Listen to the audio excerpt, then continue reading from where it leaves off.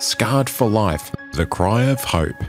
Such a book comes along once in a lifetime, and so are you willing to enter the mind of an individual who has gone back in time to tell his story from when the child had that terrified expression and the circumstances that led to those fears? What became of this boy?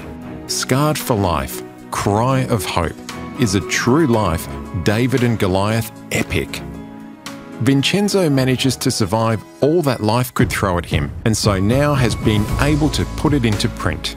The book is a valuable contribution to the understanding of the individual and the wider world in which humans interact with.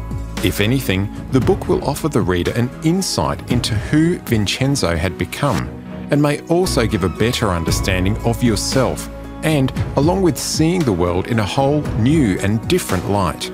For further detail, reviews, and testimonials about Scarred for Life, Cry for Hope, then visit www.vincenzorusso.com.au. Purchase of a printed copy and ebook can be made through the website. Reading such a book may be the best decision that one could make.